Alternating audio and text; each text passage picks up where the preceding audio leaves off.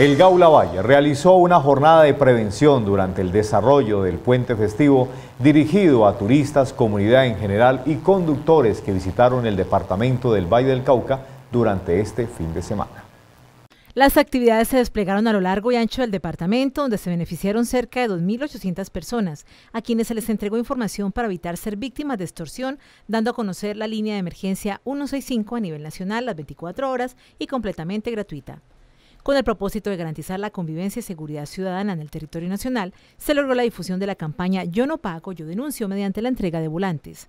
Las actividades fueron desarrolladas desde el día viernes en los peajes y principales ejes viales del departamento.